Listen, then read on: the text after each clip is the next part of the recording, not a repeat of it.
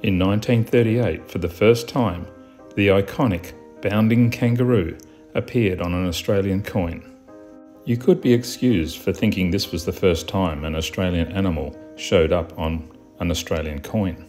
But that honour actually goes to the 1910 threepence, sixpence, shilling, and florin, as both the kangaroo and the emu held steady the Australian coat of arms during these years.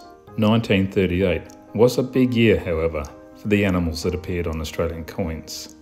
With the coming of the larger and more elaborate coat of arms, so too did the depiction of the kangaroo and emu become more detailed. The strength and beauty of these animals now more elegantly represented.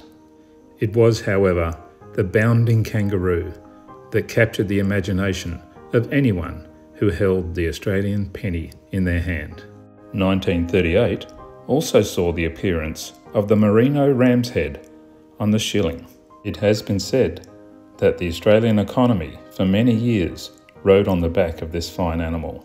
The highly prized fine wool that the merino produced, earning Australia many export dollars. Not every animal that is depicted on an Australian coin is indigenous or iconic. This prancing steed appears on the 1934-35 Victorian centenary coin. In 1954, both the kangaroo and the lion shared the reverse of the royal visit commemorative coin. It's probably worth noting before I go any further that before Federation, colonies sometimes produced their own trading tokens.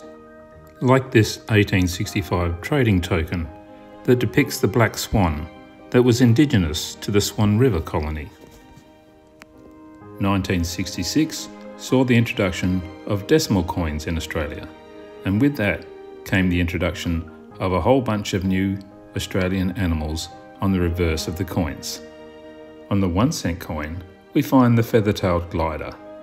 Amusingly, in early literature, this animal was sometimes referred to as the flying mouse.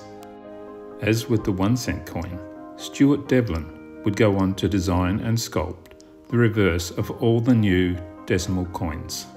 His depiction of the frilled lizard here is arguably one of his most impressive works.